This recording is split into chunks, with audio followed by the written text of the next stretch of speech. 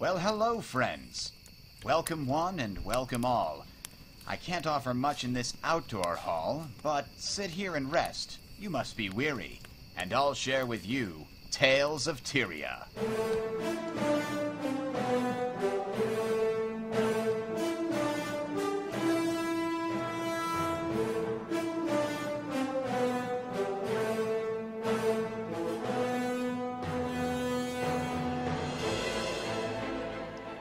This week on Tales of Tyria, we've got a huge amount of news from the recent press beta, a whole big discussion on microtransactions, and the Guild Wars 2 economy. Stay tuned, it's coming right up.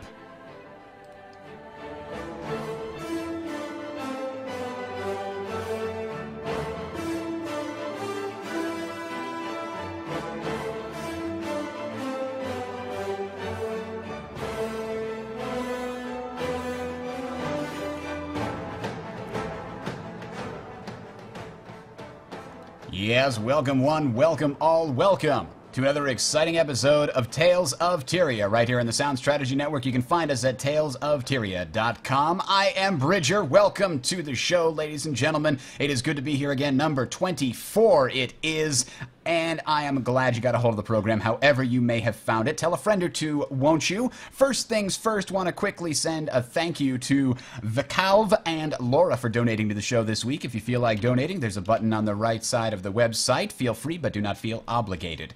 Also, wanted to let you guys know that if you wanted to help out the show, leave us a review on iTunes, and uh, that'll definitely help us. Uh, but do it honestly. Don't just give us five stars because I tell you to. If you think there's something that could be done about the show, Tell them it's four stars. They lose a star for having a bird, and I hate birds. Whatever you want to do. All right. Also follow us on Twitter and a very awesome new thing. Even though Unfortunately, Tales of Tyria was not in the beta this week. I did spend all weekend uh, working on a video called How to Guild Wars 2 The Economy, and there's a link to that in the show notes. So I uh, just wanted to let you guys know to check that out. Let me introduce everybody else on the show here. As I said, I am Bridger, and joining me this week, we have a lovely group of hosts and co hosts alike. Unfortunately, Freelancer and Kai can't make it this week, but filling in, we have three people filling in those two slots because apparently I don't know how to. There's no joke there. Malchior, welcome, sir. Hello, hello. You're a bit pixelated. Have you been losing weight or something? I mean, I don't understand. There's too. There's not enough pixels to go around. I upgraded the computer, and the internet said no. Apparently so. All right. Also joining us is Mr. J Vega. Welcome, sir. In crystal clear quality, I should say. Good evening. My internet's awesome, I guess. There you go. Also joining us for the first time, popping his Tales of Tyria cherry, as it were, Oku Raku. Welcome, sir. And now I can't hear him. That's amazing. Oh, he was having some trouble earlier getting the. Oh, oh, there we go. I think I hear you now. Sorry about that. Yeah, thanks for having me. Uh, I see my quality, so my strategy is basically to stand completely still, and eventually my picture will be clear. I think that might work for you. Also joining us, we have uh, returning also from Team Legacy, Mr. Great. Actually, everybody, this is the Team Legacy show here. Because now that I think about it, the only one not in Team Legacy is Kai. Um, all Team uh, Legacy members to the to the Tales of Tyria podcast. And welcome, great. I'm sorry, I didn't even give you a oh, chance hello. to say hello. Hello, I'm here.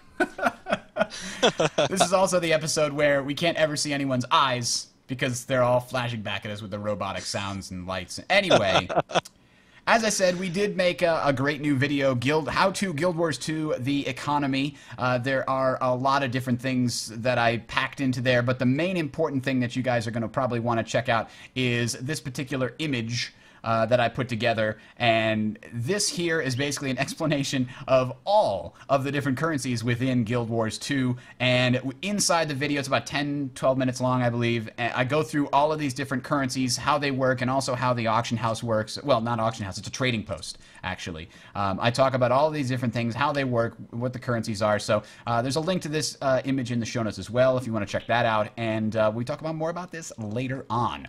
Uh, for now, I got to stop saying the word uh, and that would be my, my goal for today, actually. Let's jump into some of the news. Now, this is very interesting. There was some discussion and some thoughts that Guild Wars 2 is going to be region free, as in there are probably going to be European servers and they're probably going to be North American servers, but you will be able to join them uh, sort of at will. That sounds pretty awesome. Indeed. Now, No more, no more not playing with friends. true, but I would guess that world versus world server rotations are going to be within regions, right? That's got to be the case. Oh, we don't know. They didn't specify Well, I that. think it's it's probably like maybe um, you pick like a home server per se for your world versus world, like who you want to represent, and then you're only in. Well, no, I mean, if you're in a North American server, I mean, you're going to want to choose. You know, they've got to separate them by region for for some. I mean, Yeah. for ping reason, right? well, I would- the only th- the only thing they say is that you're only restricted by point of sale. Then then after that, you're free to play with your, your friends. So I'm assuming like you can buy it and then you can play wherever you want. If you Right. want to pick like North America, and that's you can the do it. news. That's exactly the news right there. Is if you are in Europe and you want to play with a North American guild or vice versa, uh, you would be able to do that. You know, easily. Is is the news? Oh, I, okay. I The see. question Yeah, I and think- the thing that I think is going to be the case is if you play on a North American server, you're only going to be matched against other North American servers. I mean, that only makes sense, right? Yeah, I think that that's kind of what they're getting at. You're, you have the freedom to choose whatever server you want, but you know, you're still going to be locked out in that world versus world. I mean, it doesn't really make sense to have a Euro server versus a North American server because the time zone difference would be, you know, they'd all be attacking NPCs. You know, maybe do you think if if we ask them real nicely, they'll allow it just once so that Deuces and Team Legacy can fight each other? Because that It'll- it'll- epic battle, It's the eternal all battles. battle. it'll hap- it'll happen eventually. We'll either hold over until like their morning, or they'll hold over until our morning. I guarantee you it'll happen. Well, that's what I'm saying. Think- it won't happen if they're in different regions and they only match up North American servers against other North American servers. Then we'll never be matched up against a Deuces server if it's in Europe. Oh, I think it, I think um, it'd be great if if ArenaNet like once a year, sort of said like, this is the year-wide world versus world actual like country versus country, and tried to kind of set something up, like just once Like- a year, like let them Oh, do that's that. actually brilliant. If you had World versus World, like have everybody split up into servers by state in the U.S. and by country in the world, in Europe. oh, God. See, I- I didn't- It's geographical pride. That's why. Why do you vote for the for the Yankees? Not because they're good, but because you live near New York. That's the only reason. Fair enough. Oh, wow. Fair enough. All right, moving I think. I think uh, I think that's a really good piece of news though because it puts the control in the player, right? I mean, there there are so many examples where region locking blocks a legitimate play concern, like you know maybe someone's in Europe but they want to play on a North American server, you know things like that. Maybe they're just you know there for a short term, like military, etc. Maybe they work the night shift, and they Night can't play with their friends, so they need to play. You know, There you go. It would be very lonely if the only time that you could play is like 8 a.m. to 12 noon or something like that in, in Eastern time. Forever- forever on. alone. Forever alone, indeed. So let's take a look at the next link we have on the news here. And this is not really news per se, but I thought it was really cool and worth checking out. Uh, this is a signature generator for Guild Wars 2, and I've got a link to this in the show notes, which, by the way, is in the description of the YouTube uh, video that you're watching, or it is also in the. Uh, the website. Wow. Okay, there we go. The website, t- It's on the website. That's amazing. I never thought of that. that that website. So this actually lets you do a lot of different cool things. Gives you different effects that you. Uh, uh, and then you can put it on. I don't know actually what this does. Yeah, it puts it on one side or the other. You could choose the size. Then you could choose class and say I'm going to put the class over here, and then maybe just make it a little transparent. Put some text in there. Be like, ooh, Jungle Fever. I like that. Okay, the boss. That's the name. The boss and we're going to use uh, moth proof script to use my uh, my my term. What do I say? Uh, um, I'm a bear. There we go. That's my that's my uh, that's my thing. And then uh, over here we can add butterflies because why not? I'm an elementalist. Some gears. Uh, it's, got a lot of different things you can do. You can add lines to give it some weird borders over here, do some different things. So it's very customizable. Highly recommend you check it out. It's very, very, uh, very cool. So I thought that was great. For, so if you're looking for a signature generator for Guild Wars 2 to show off how awesome your creative skills are, there you go. Bam. That'll do it for you. Now let's head back over to the next link that we've got here. And this is an amazing video by Total Biscuit, the Thief and Dynamic Events video. By far one of the best videos of any Guild Wars 2 video that I've seen. Uh, you guys saw this, I assume? Oh yeah. Yes. yes. All right, Vega. tell me what what what about this video? Can you back me up? Is it like the not the most awesome video there is? non Um, P. I- Let me say non PvP.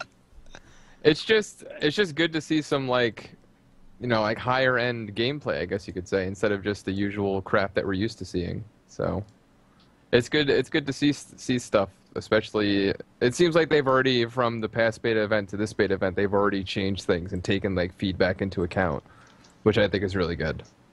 Absolutely. All right. Anybody else thoughts on the on the TB video? Because I have a bunch of thoughts. I'll talk about it when you guys. It, it it's nice to see a professional, like someone who actually does this for a living playing, who has like the equipment and the experience on how to like make these types of videos. And the thing about me was his opinions on the game. Like all weekend, we had been reading these opinions on like websites and Reddit and forums and stuff like that about people like raging and like people are like ripping each other apart over like how they feel about it. And it's nice to have somebody who's somewhat professional come out and say, "Yeah, you know, this is what I think. I'm showing you stuff. It feels really good. I really like the way it's going. We're going to see more in the future." C- correction, I I purposely stayed away from all the Reddit forums and all the other raging forums. So oh, come on. I I purposely As somebody avoided pointed it out, the only people who would be willing to break the NDA are people that were like angry about something to begin with. So you have to remember you've got a small sample size there. If you're worried about that, just consider the fact that the people that that don't want to risk breaking the NDA probably didn't go posting how awesome the game was. You know, that's that's something to keep in Yep. mind. Yeah, that's true. I think uh, that's a good point about you know Total Biscuit. You know, he's he's not a pro player, but he definitely knows a lot about game design.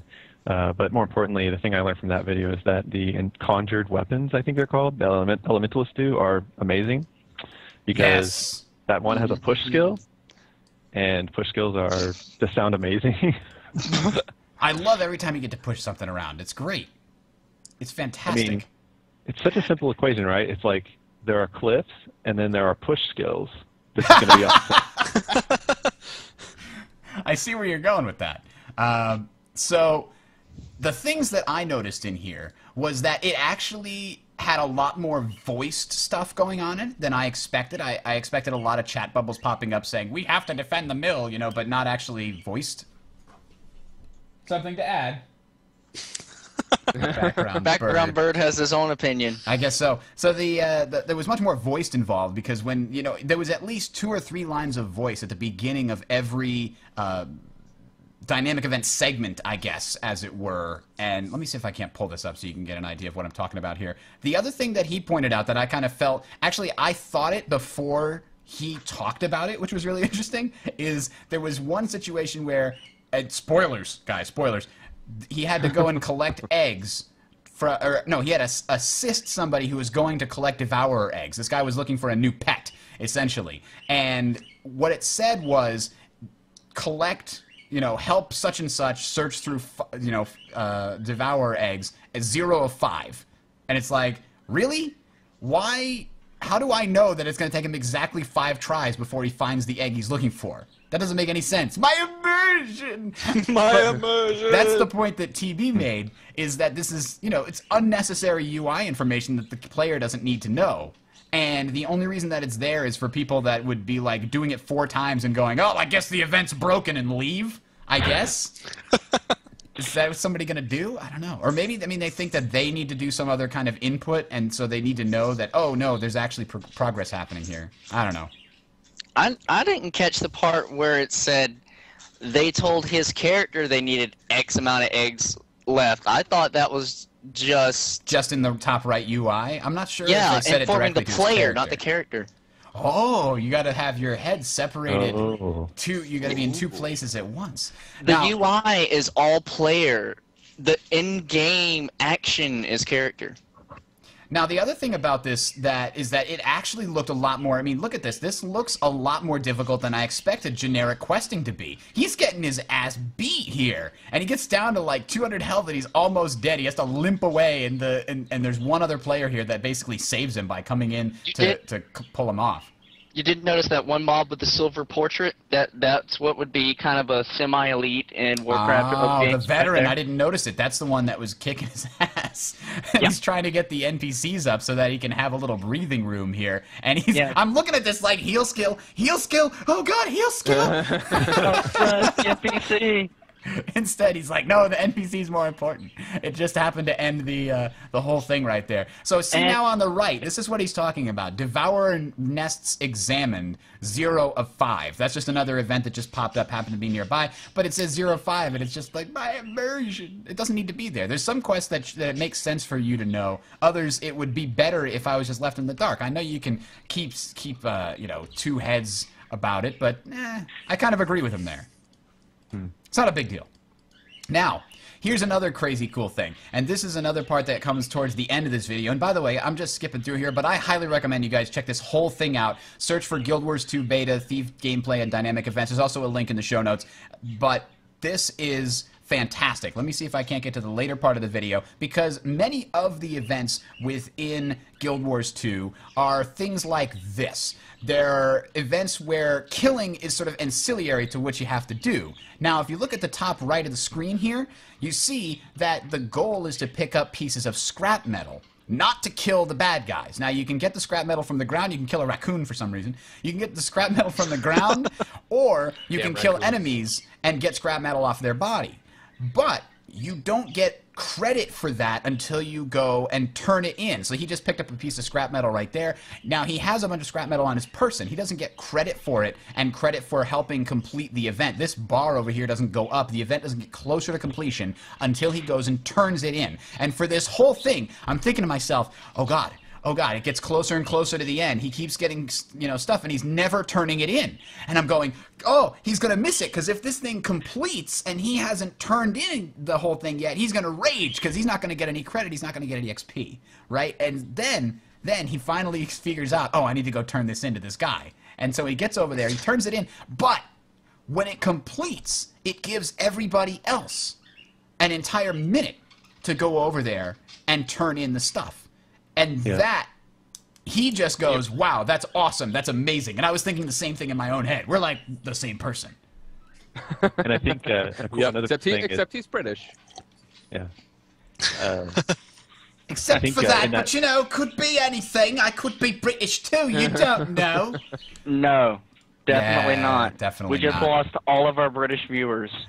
Well, in that in that example, though, I think uh, I think actually though, if you turn them in after it's filled, you'll still get you still get a reward um, because obviously they don't want to induce rage. That's bad.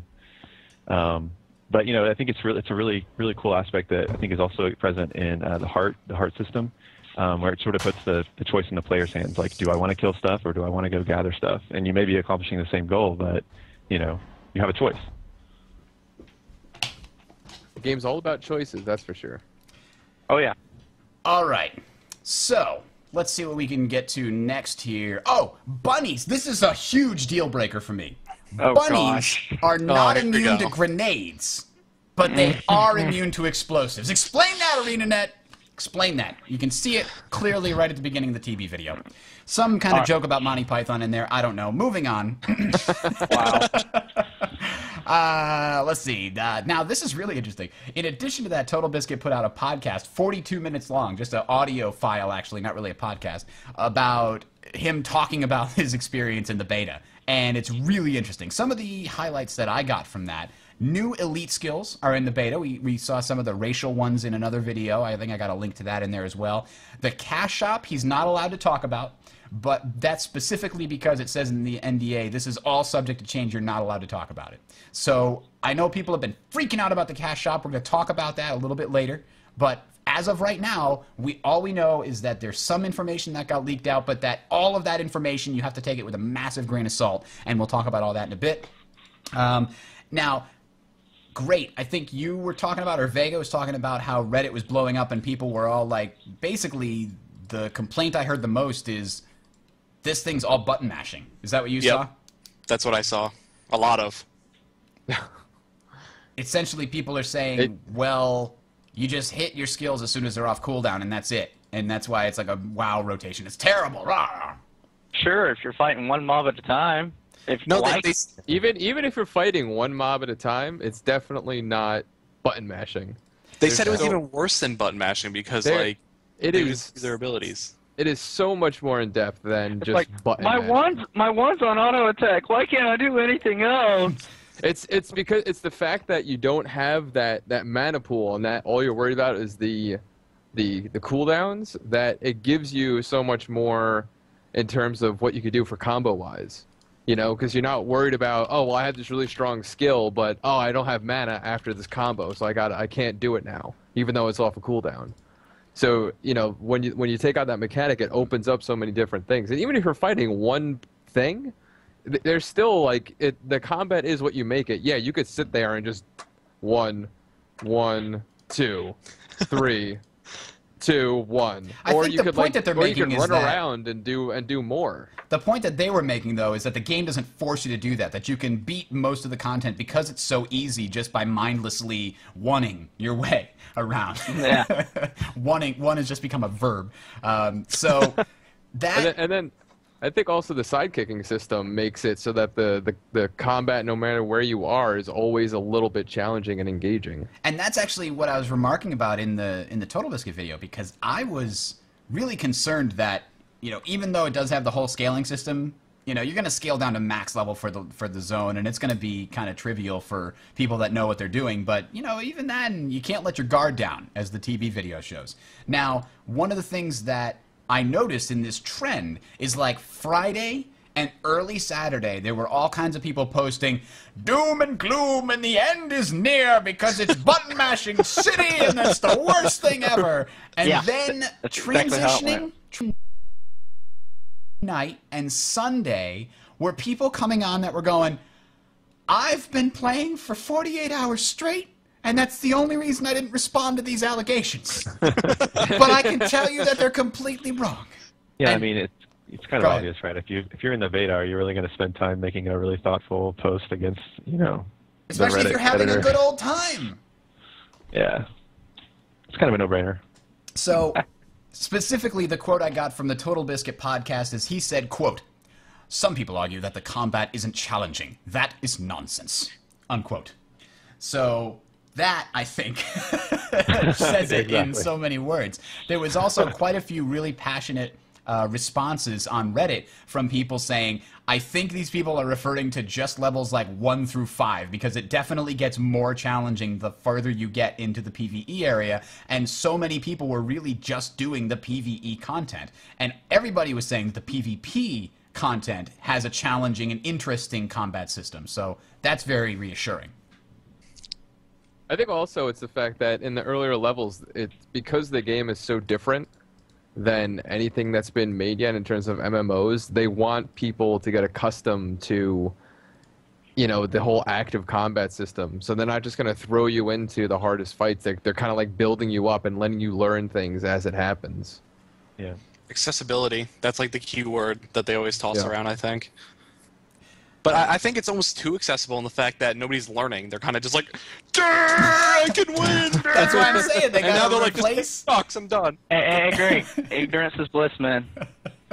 They got to replace the entire skill bar with dodge until they figure out how to use it. Yes. Yes. I'm telling you, that's the solution. It has to be in there somewhere. Like if you never dodge by level 10 for the entirety of level 10, you only get dodge. Every time you dodge, you get a regular skill bar for about 60 seconds, and if you don't dodge again for 60 seconds, your skill bar changes back to dodges. Put put the image up. Put the image up. Uh, let me find it. Hang on, it's in here somewhere. Hoop. Zing, zing, zing. And I you blinked blinked, blinked it like 17 times. I know. oh, this image. It's a great image. I'd link right. it to the chat, but permissions reset. Oh, jeez. Noob press here. That's the one button. Everyone else learn to use these skills. Put it up. Put it up. it's up there right now, man. It's up there. It's Ah, like it's so true, though. Everybody's like, I'm going to make this my avatar in the game. so, one of the other things uh, that I noticed is every single reaction from the people that did decide to break the NDA, the thing that everyone said, and I mean every single post, that was even more than two sentences, was the thing that blew me away was how amazing how amazingly gorgeous this world is. The cities, massive, beautiful, detailed, they feel alive. The countryside, the backgrounds, the far distance, it all feels like a real world, a living, breathing world that just looks better than Skyrim, is how I heard somebody say it, which is very high praise. I'm a PvP kind of guy, but I still got an explorer side of me, and that literally gives me just instant goosebumps. I feel like I can play the game when I watch one of those videos in 1080. Just move my mouse. I know, right? Did you see playing- that? Somebody put a video. It's like five minutes of a character just standing there watching a uh, windmill turn in the background, and people walk around in front of it, and it's just like, just use this whenever you really want to play Guild Wars 2. Just put this full screen and sit there for five minutes. It'll, it'll calm I you think- down. They've really put they've really put so much detail into these things, and you it, it you can see it everywhere. Just watching all these videos, it's like you can't even find two trees that look similar or look the same. Like even the trees, they have different branches coming off of them. That's And what everybody was saying. Even the trees even the little cloned. tiny things like that. It's not just like oh well that's a tree and it looks like that tree. It's like everything's different. Even the trees, everything is just so much different. procedural d- dynamic building. Um, anyway, the other thing that, that he said is, quote, button mashing. That's an absurd suggestion. So that is great. I'm So really emotive. happy to hear that from him.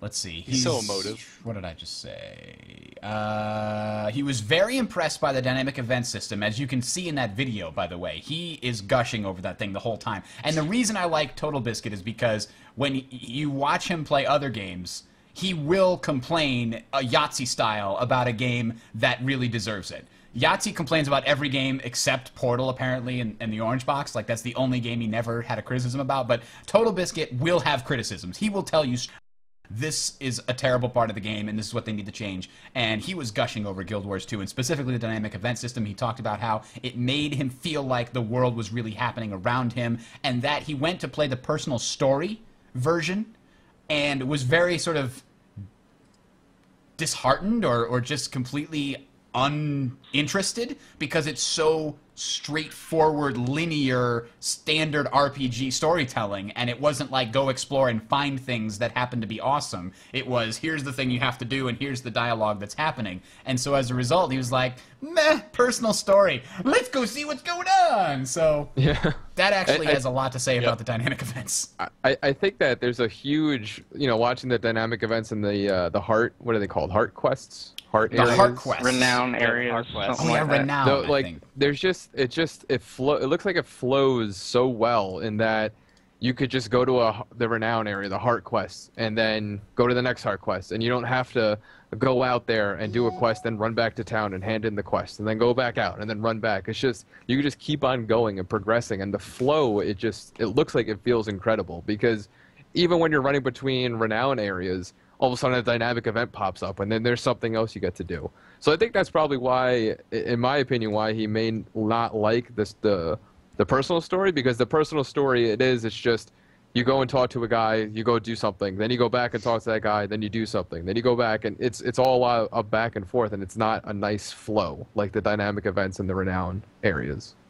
Yeah, and and the and that's something I actually should point out is a lot of people were trying to point out that the very interesting thing about the heart system and the, how it's different from dynamic events. Hearts are basically static quests for all intents and purposes that everyone can participate in and they fill up like so i have all these hearts in the world and they all start unfilled. And when i complete them they're completed for me. And they're sort of like you know a quest that is always there. It doesn't change the world a whole lot. That's why they're not exactly dynamic events per se. So you go over there you help the farmer pick up the cows or whatever. It's just an event that's always there. Dynamic events may or may not be there. They may be on different stages etc etc so hearts are basically things that uh, you know an npc scout can point you to and say go over there. I think that guy needs some help with his farm and that will always be there so he can always point you in that direction. And on your way there and in those heart areas other dynamic events are happening around you and that's what they use to get you to go and explore and, and come across these dynamic events.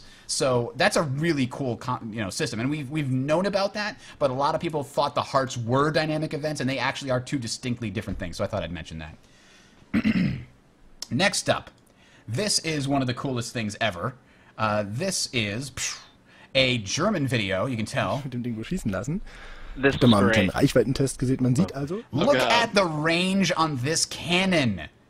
I would love to be sitting up here. Just imagine, like, let me let me turn. Look at him. He's fired. Look, you can shoot people way down there. Then you shoot them the whole time they're coming up that that road towards your castle. Like you just rain fire down on them with this cannon. That's just amazing range on that. I can't wait to play this World versus World. That's just It's shaping so up to be really good. Like, there's some other videos out there, and they just are amazing. Like, we finally see trebuchets in action in World vs. World, and they are amazing. Like, the stuff that people are already doing with them in beta. Yeah, Yeah, and and there's I think I'm gonna try to get it earlier in this video. They show the guy using the cannon on a group of enemy players, and it actually does quite a bit of damage. I think it does. 5,000. Yeah, like five thousand, which is about a quarter of their life usually. If you estimate that people have about twenty thousand health in in World versus World, so if you hit them with four cannon shots, see you later, bye. This is Yeah, definitely. The the trebuchets and the siege combat is, is so cool. I mean, they they there was a video that showed um, actually a trebuchet you know being set up in a tower, and it's on the tower wall, and it's attacking the gate on a keep, which is a you know a larger objective, and it was just like the most epic thing I've ever seen. I'm very excited about that. Yep, yep. I can't wait. So there's another one, and this is a very cool video. I think you guys should definitely check out because they added uh, some more racial elites into the game, which I don't know if they were in the last press beta. But this is Yogscast, and let me jump this in here. They've got the Hounds of Balthazar here, Yeah. and I'm only going to show a couple of these, but I recommend you check out all of them. But here's something that I thought was really weird. Uh, I love how they do their little jump and bounce fire, and when he goes on to the next one, though, they're they're just like, oh god, drop explosions, and then hey look, we're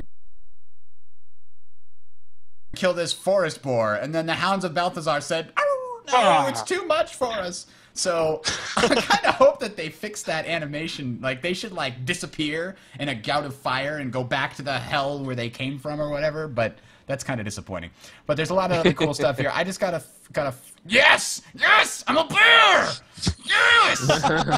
I can't Well, wait to make a Norn a bear away. a Norn bear, a Norn warrior. I'm gonna make a Norn and name him Voli, and then you can you can fill in the rest. Um, We so the bear song that we found. the bear song, no, not the bear song. Wait, there's song. a bear song. No, we're not playing that. Here's a really weird one. The the the the Raven for the Norn. You can be the That's Raven. just scary. That's a scary. one. You would not want to see that thing coming at you. That's why it's World scary. World.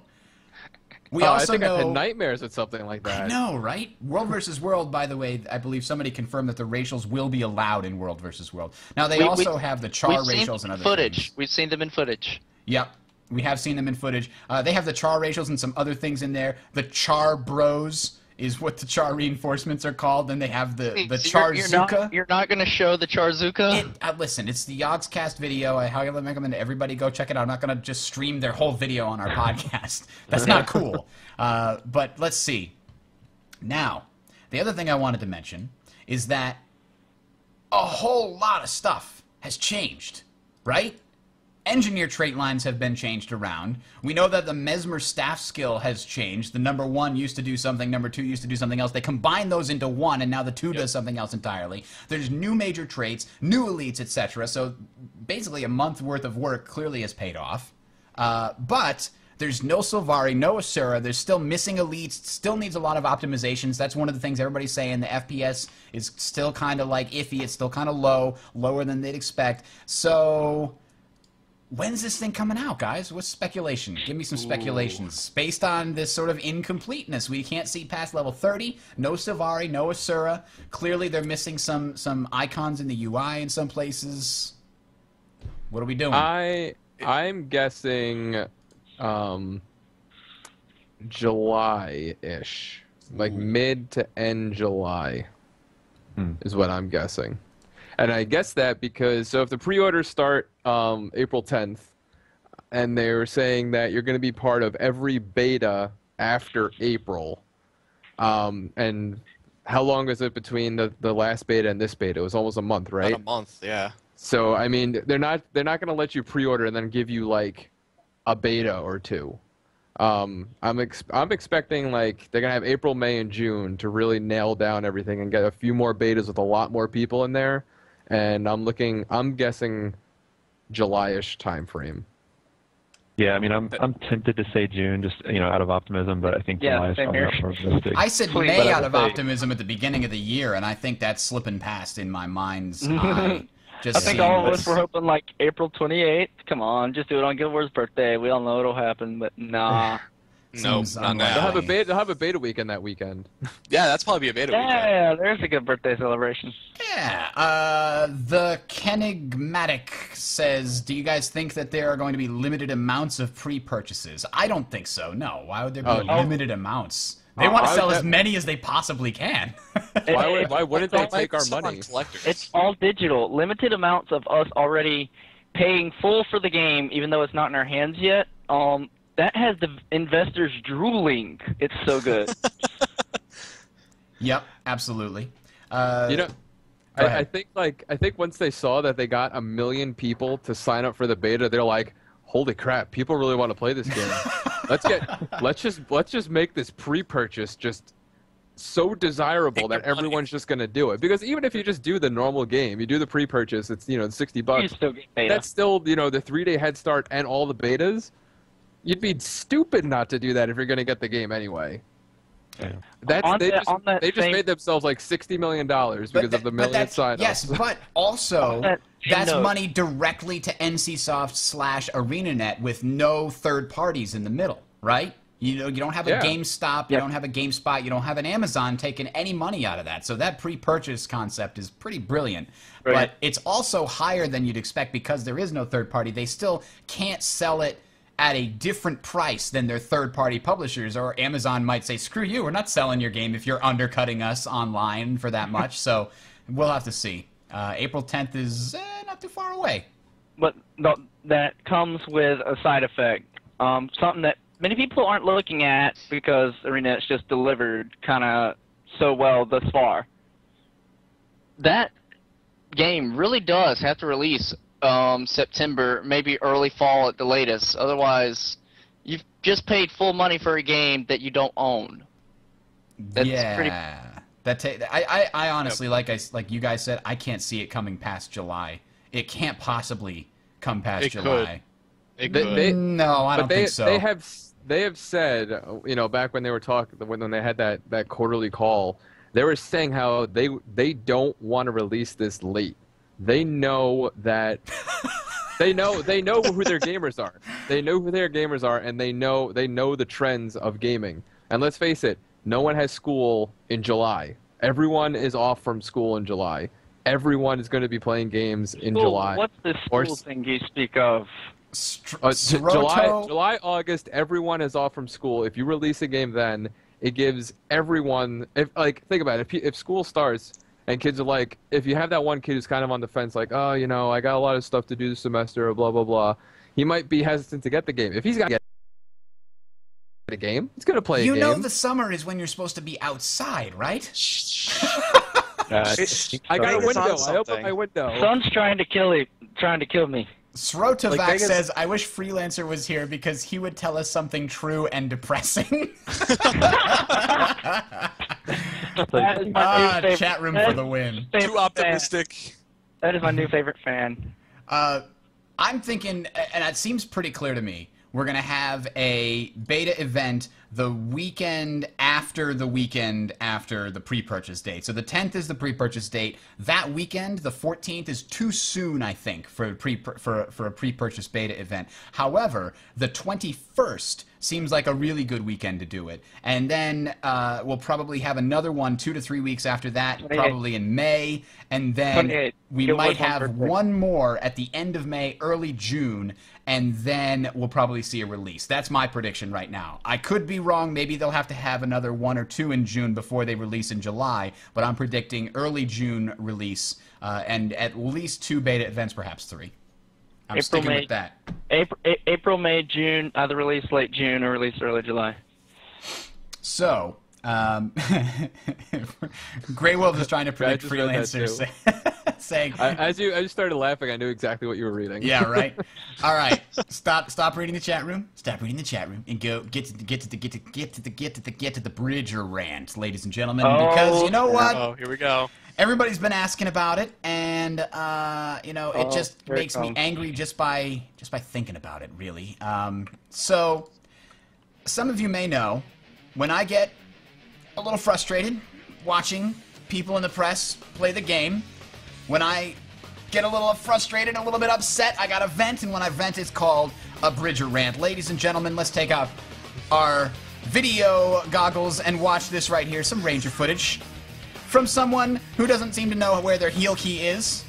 He's clicking on his skills. Oh, better click that one button, buddy, otherwise you'll never be able to reach it because your fingers are on the arrow keys for some reason. Um, No, no, he has two hands on the mouse.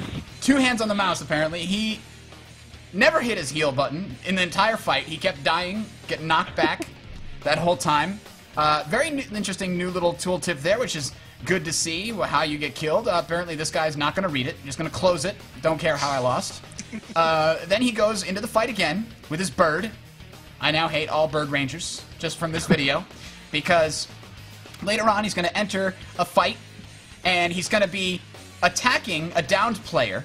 Let me see if I can't find him attacking a downed player here That, because that, how that many? was, it, was, it was in the cave. It was in the cave. We'll get to the cave eventually. This guy makes his way into combat. He's attacking a downed player.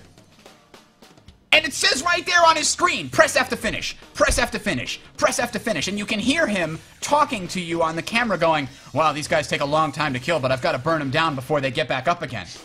Got They up, can't up, get got up if they're being attacked by you, and there's a button that says finish them. Right there. It's right there, buddy. See it? Stop whacking him with your one key. Stop hitting the one. He's just clicking the one key down here. What is he doing? Hit the finish button. He sits there for 12 seconds. I can't believe it.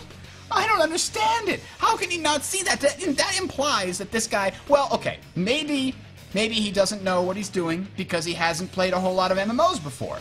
Because maybe he's with, you know, Forbes magazine or is this MMORPG.com?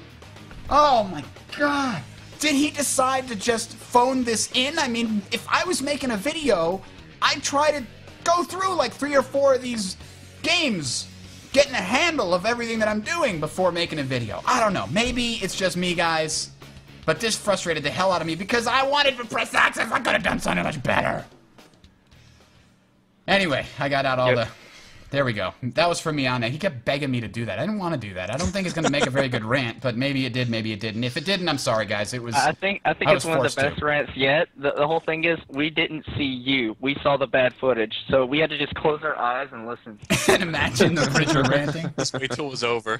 Elites are for bads. He never uses his elite either. I don't think he even slots one.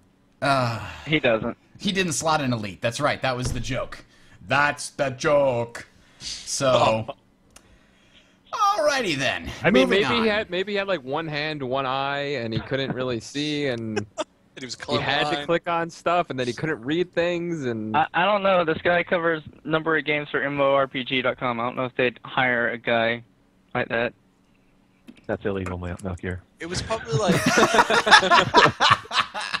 yeah, the uh, Americans with Disabilities Act was passed in 1960. So uh, actually, I don't know when it was passed, but you know, maybe.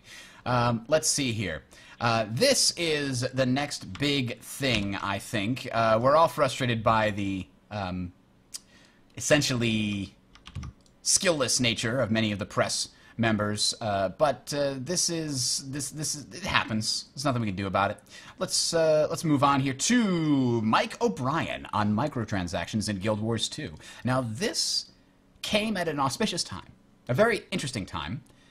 There was a thread on Guru last week that people were saying, oh, there's this thing called gems in the game, and we think it has something to do with the microtransaction store. And other people are saying, it's just a rumor. We haven't heard anything about it. Nobody said it. Nothing in the press beta, blah, blah, blah. It was back and forth, back and forth. Suddenly, a wild Martin Kerstein pops up in the thread and says, we're going to have a post about this later on tomorrow. So that was interesting. And then we get this post about microtransactions, and we learn a little bit more about the gem system. Here are some very key points in this thing. He says, as far as ArenaNet is concerned, quote, It is never okay for players to buy a game and not enjoy what they paid for without additional purchases. And it is never okay for players who spend money to have an unfair advantage over players who spend time. That's the kind of thing that I would expect to hear from a free to play game. But, you know, have to spend time doing something I don't want to do in order to enjoy the game fully. Wait, ask that again. Okay. What he says is it's never okay for players who spend money to have an unfair advantage over players who spend time. What if I don't have money or time? Am I just SOL? then you're hopeless. Sorry, Then guy. you better be really good, because Why are you playing MMOs? I mean, so you're saying seriously. Well, somebody who doesn't I mean, have you money still- or you- time is you not still the have target time, market? Right? It's just that yeah. you still have time. It's just that your time is spread out over a much longer period. so you're going to be Ah. spending your time the little that you have, you know, to to do that. If you don't have money, I guess. Well, no, the way Guild Wars 2 is designed is um, you don't have to be there for the entire event. You just show up for as long, and as long as you participated in some way, you'll get a contribution. So you won't be as fast as the guy that spends 24 hours on day one, but you'll get there. Yeah. So, I mean, to me, what he's saying there is, oh, it's okay if you don't have money to spend on our gem system. You can just grind gold for a while if you want to buy something in there, and uh, ah, that's just. I don't like that, and I'll get more about that in a second. So those are two very important pieces, though. What he does basically say is that it's not going to be pay to win right? That's that's the idea. Is everybody's concerned that somebody who happens to have a lot of money is going to suddenly have an artificial advantage simply because of their economic status? Nobody wants that, obviously. So this he goes into gold, karma, and gems. He says Guild Wars 2 has three currencies.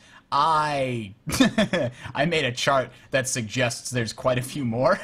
so let's open that up and we'll talk about this for a little Just, bit. just here. maybe. Just maybe. So uh, I said that there's gems, gold, bind on equip items, karma tokens, and glory are all different uh, currencies essentially.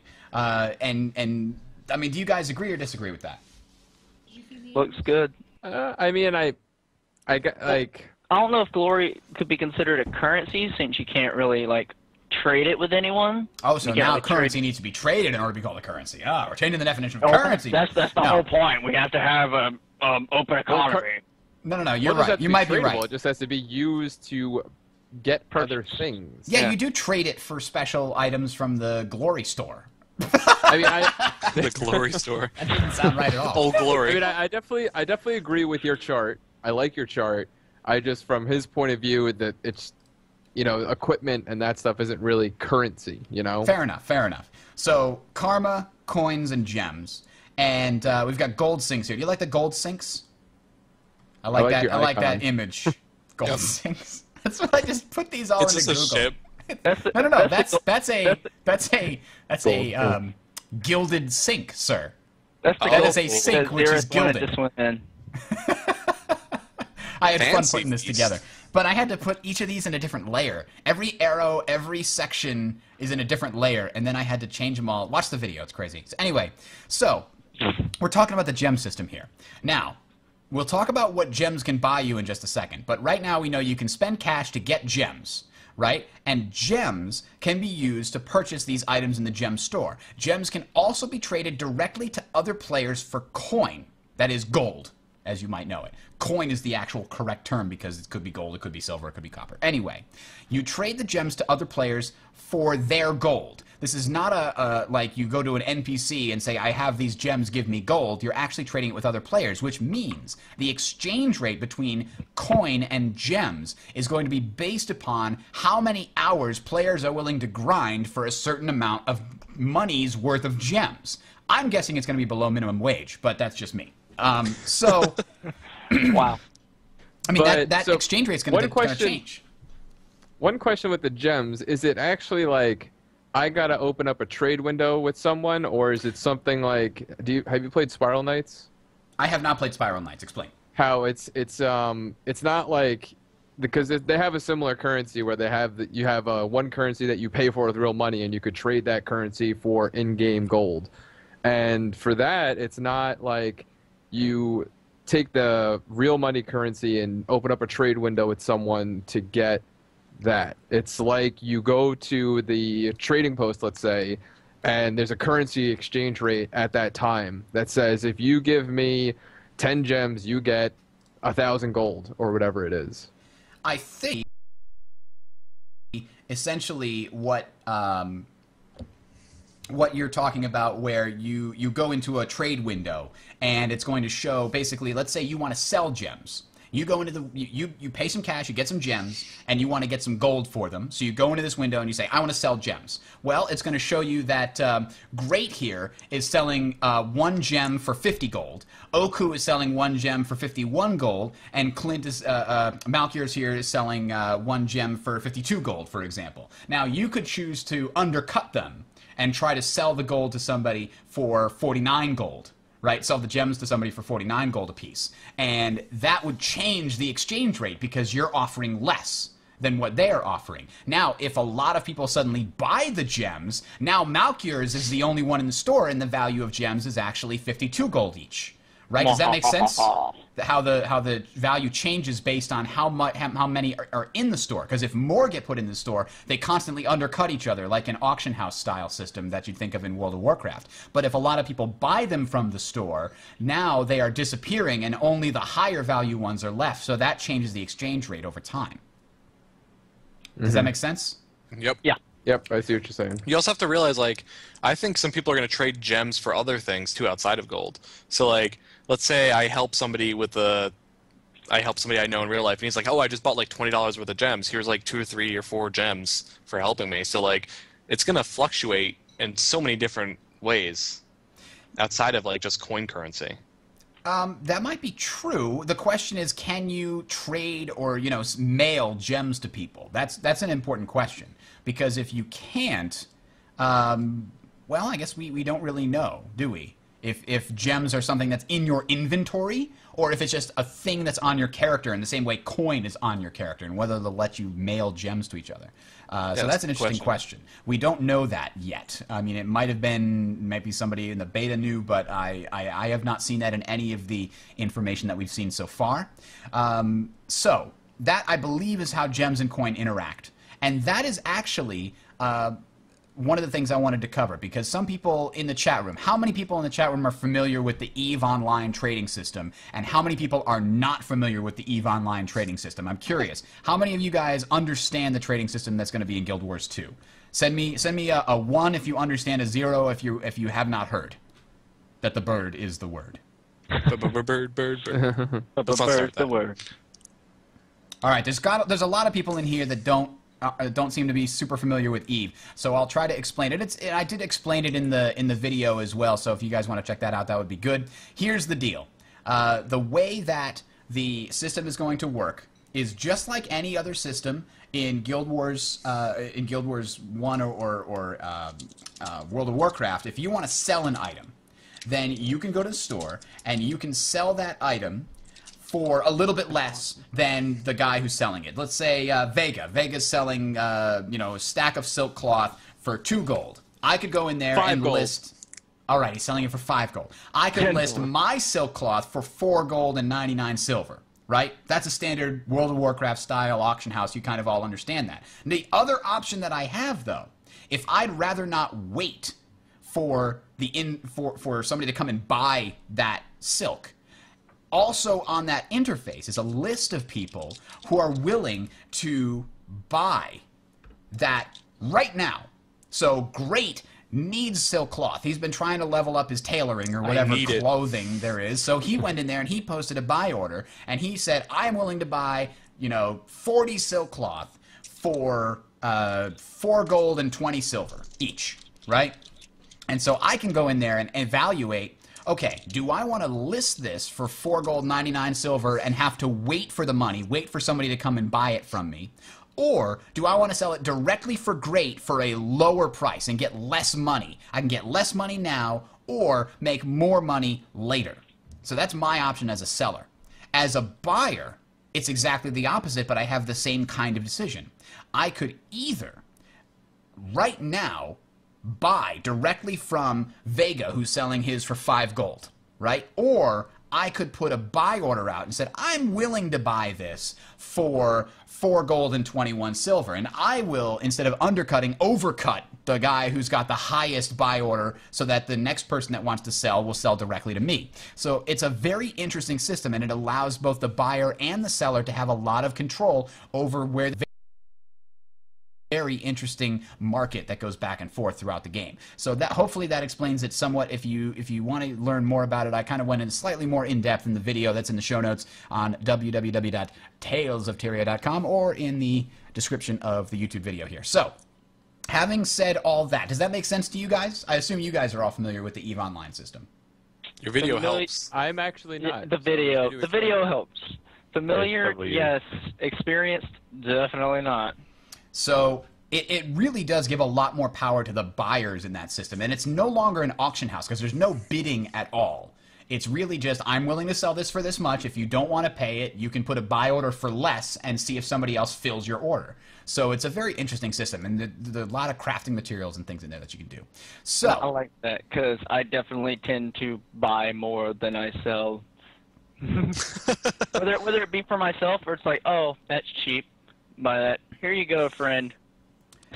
So, all that having been said, let's talk about specifically what you can buy with gems converted into currency, because that's what everybody's.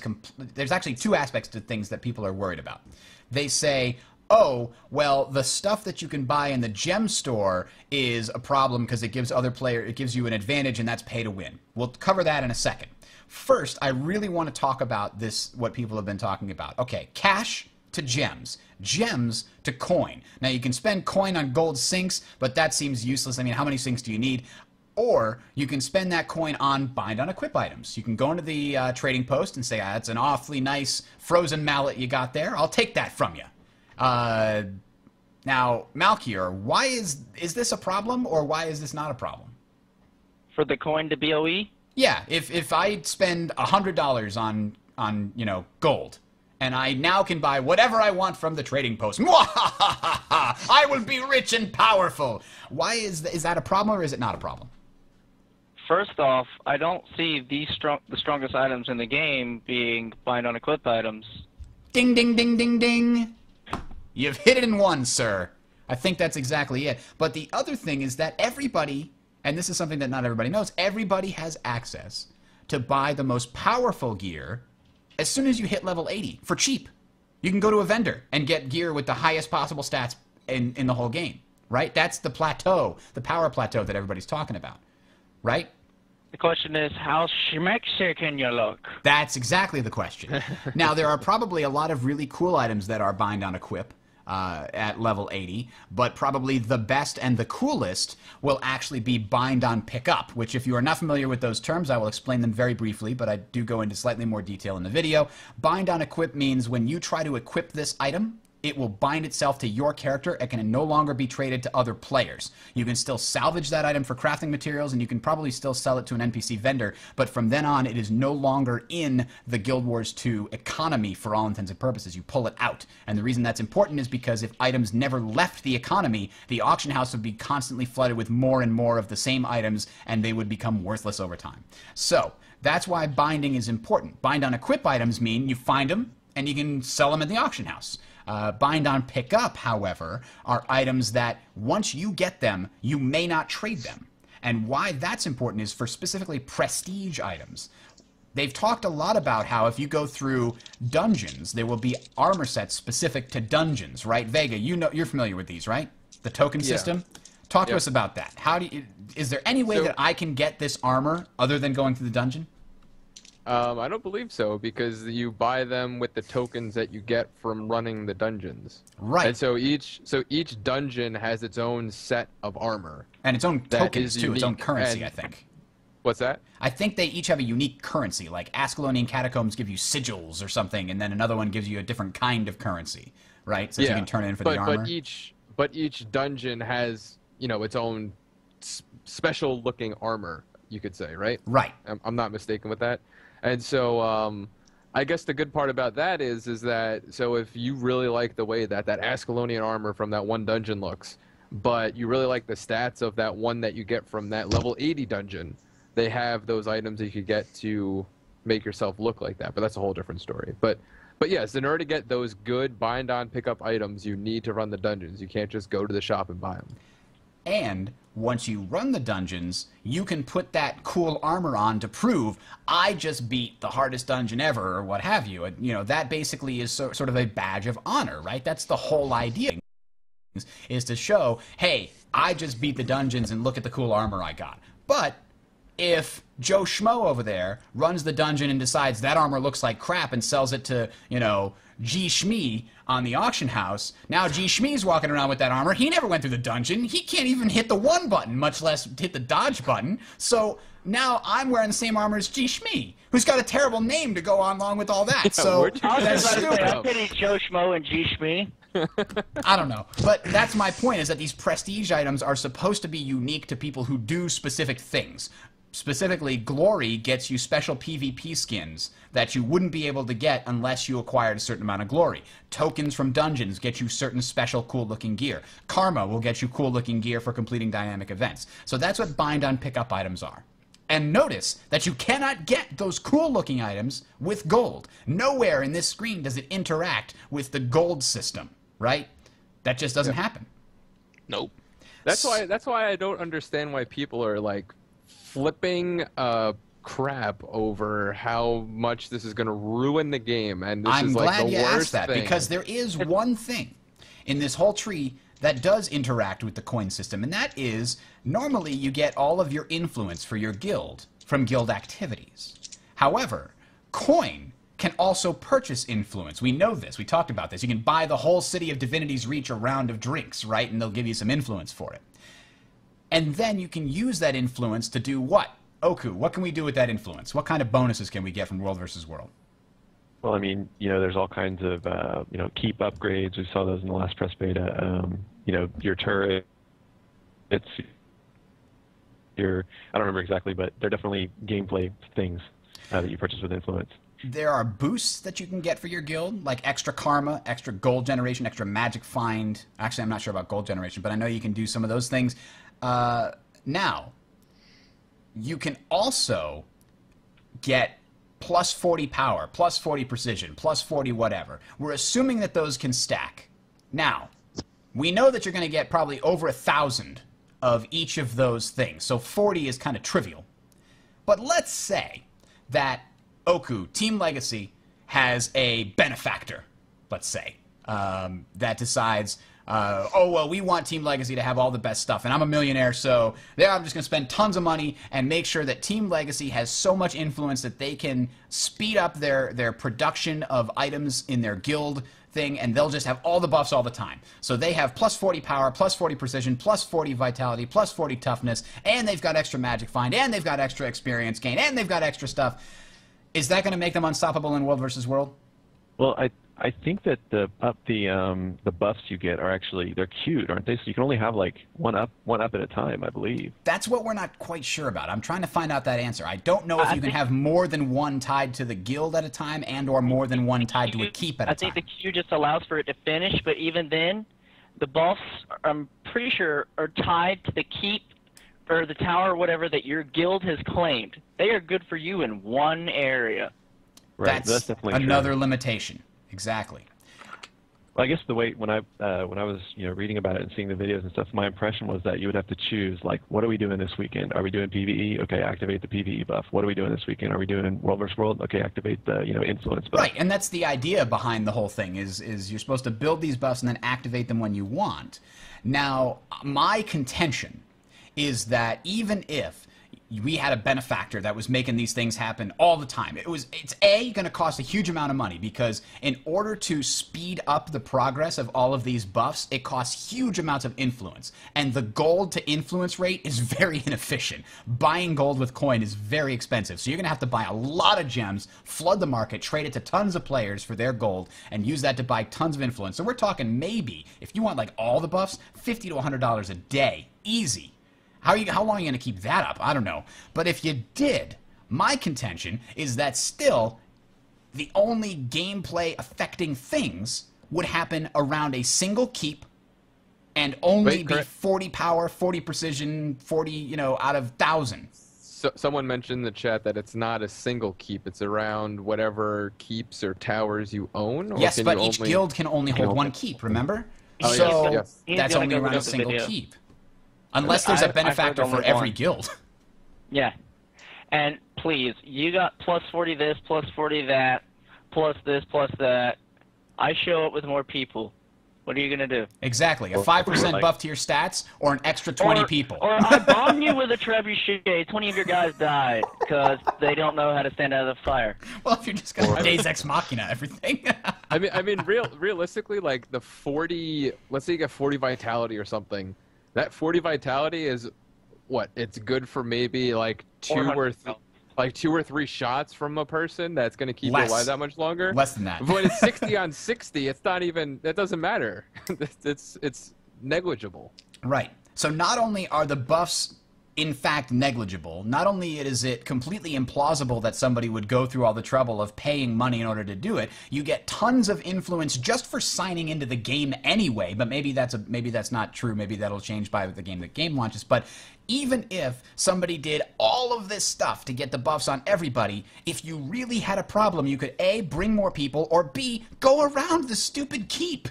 There's four maps. Go somewhere where somebody's not being a big douche and get their teams instead. Let them have the crappy keep with its little buffs, you know? Ah, so that's my that's my contention when it comes to the whole. Oh, and, and world versus world. Oh, it'll imbalance world versus world. If, if you have 20 more people than I do, it's already imbalanced. Like, this is going to be a drop in the bucket compared to how many people each server brings. Yeah. That's my contention. Am I wrong? Is there anybody that disagrees? Go ahead, speak up. Uh, It, it could upset the balance. I mean, freelancers Gigawatt together. Gigawatt just brought up a really good idea of like StarCraft upgrades plus one upgrades make a huge difference in battles. And like you think it's like oh it's only one damage per marine, but it makes a huge difference. And having that like 200 health per person mu- could turn the battle if you're like even. And that's what we have to think about is like even never is going to happen in World versus World, like you guys were saying. But it, it can make a difference at times. Well, I will say that you know, so take for example the orbs, right? So the the orb bonus is a health bonus, I think, um, and you know, so it may be negligible, but it's still important. Obviously, the the orb buff they're making to be important. If it, if it's not important, why are we going to attack orbs? So I mean, that's something where they're taking you know maximum health and saying this is important. Yeah, but maximum health for the whole server versus maximum health for a small area around a single keep is not quite the same. Yeah, that's true. Um, and and somebody in there, uh, Gekimar, uh, Gekimir, um, it does say for any fortification your guild owns only old, own one fortification. That's that's been completely proven. So we, we know that it'll only ever affect one one keep for a single guild. Now, if there are a ton of guilds on a single server, like if a server has a benefactor that's willing to spend like a thousand dollars a day to win World versus World, go for it, buddy. I don't care. Let you you can be number one and number two, three, and four. We'll Arena fight it out. Arena A- net will be very happy. They will actually. and I think Your guild will get like a gilded statue in the middle of World versus World, and I would. Uh, my hat is off to you, sir. Thousand dollars a day for ArenaNet. That's hiring another uh, six programmers or something, you know. So that would be awesome, actually. Uh, all right. So anything else you think we should talk about with regards to gems for coin specifically before we talk about the gem store? Uh, can I say this? Yeah. for one thing. I, I mentioned this earlier, but I said buying gems and converting them to coin and then saying that's pay to win is almost the equivalent of saying I pay my subscription for WoW to get more time to play WoW, so I'm winning at WoW.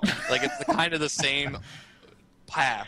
Because like Hey. you're You can keep that within your own mind. Ignorance is bliss.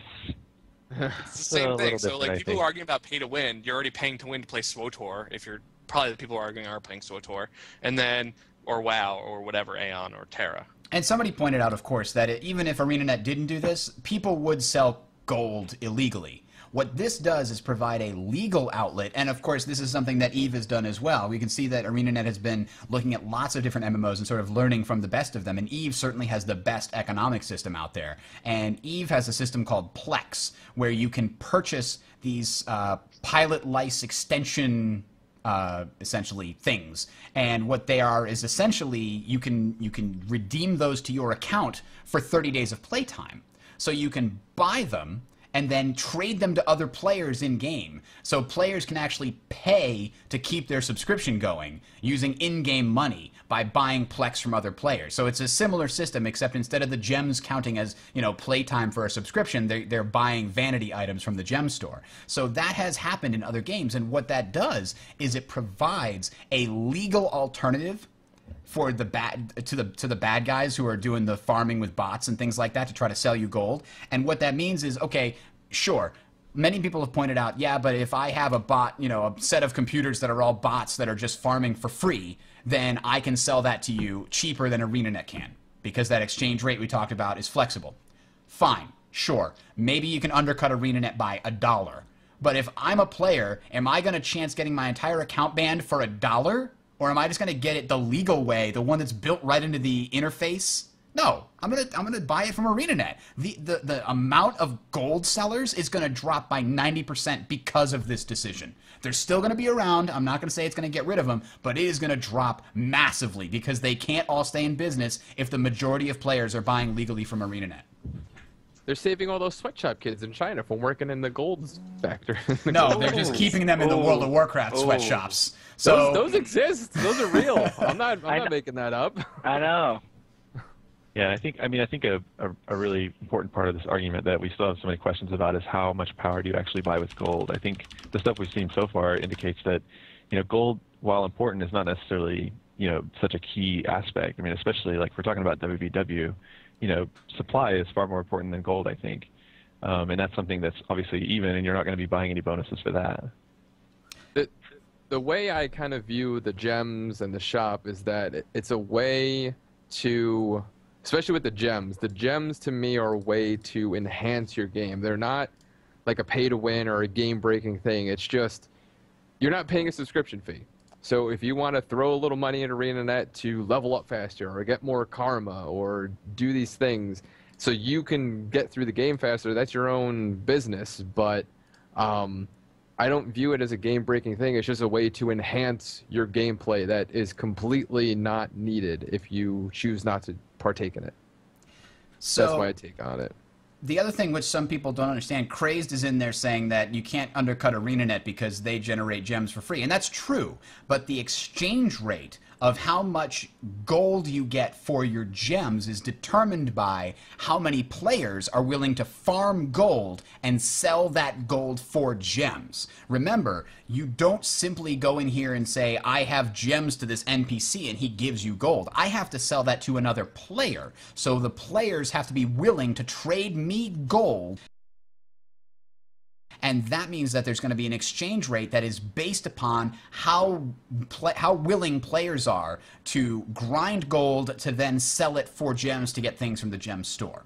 And that takes us directly to the gem store. Everybody in the chat room wants to hear about this apparently. So let's talk about the gem store and what kinds of things will be available. Uh, by now, a lot of people are probably aware there was a leak before the game went live. Apparently, there's a uh, online web interface that the beta players had access to that was up before the uh, the servers were up, and it was it allowed people to get to it when it was not supposed to be there. And let me start off by again saying we're not going to talk any numbers here because anything that's in there as far as numbers is concerned is subject to change. It's just we have no idea how much this stuff is going to cost at the end. There may be some guidelines in there if you want, you can find it, but I'm not going to link to it. Here's the deal the kinds of things that were leaked as to what it, what was tested in the gem store this weekend, which again is not necessarily what's going to come in the game. Um, we know that there were some costumes, like pirate costumes, things like that. That's obviously something we expected based on the Guild Wars 1 system. Um, we know that there were things like karma boosts, XP boosts, crafting boosts, magic find boosts, which basically increases the chance that some rare items will spawn for you. Uh, we know transmutation stones uh, probably going to be in there, things like that. We know you can also get transmutation stones in the game. We know that you can get dyes in there. Uh, loot bags potentially to get some kind of things. Uh, now, then we got extra bank slots, extra character slots. Those are the kinds of things that we expected to be in there. Uh, the kinds of things that I actually didn't see in there that I expected were things like name change, character makeover, but those might just be coming later. They might be a separate account system. We'll see. Um, lots of different things here. Now, some of the things that stood out. Uh, the XP boost. A lot of people are going, oh well, with I could, my friend can spend fifty dollars, get ton of boost, play all the time. He gets way more stuff than me, and that's not cool. It's PVE, ladies and gentlemen. You mad, bro? Calm down. You mad, bro? Seriously. A very important uh, thing of that has been pointed out in chat. It's only for your kills, so not for EXP Right. rewarded for a Right. dynamic event, nothing for your story, nothing for world versus world, only for what you kill. And I'm not sure if you get EXP from players when you kill them.